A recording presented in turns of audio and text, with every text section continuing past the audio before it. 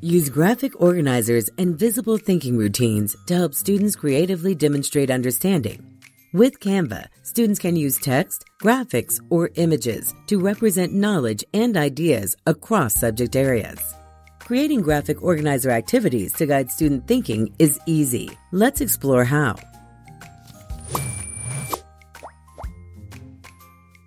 Start inspired with a graphic organizer template.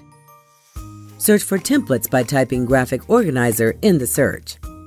Let's start with this cause and effect graphic organizer. Customize the design for your learning content. You can edit and format the text, remove or customize elements, and add graphics and images. Ready to design your own custom graphic organizer activity? With Canva, it's easy to create a design from scratch with a blank graphic organizer template. Use graphic elements to design the structure. Add shapes and lines, or search for specific elements. Let's create a Venn diagram. Search for Venn diagram in the Elements tab. Filter by Graphics and add to your design. Customize graphics by changing the colors and size. Add text to create a title by pressing the T key. Select and use the options in the toolbar above to style the text.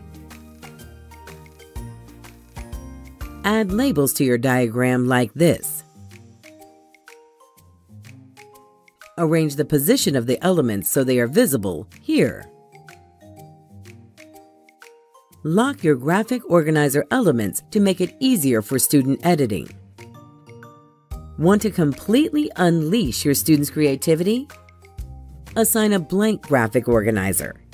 Kickstart their creativity with the freedom to select a template. Or use graphic elements.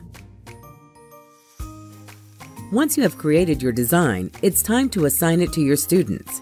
Name your template and start an assignment here. Canva graphic organizers allow students to organize ideas and communicate learning visually.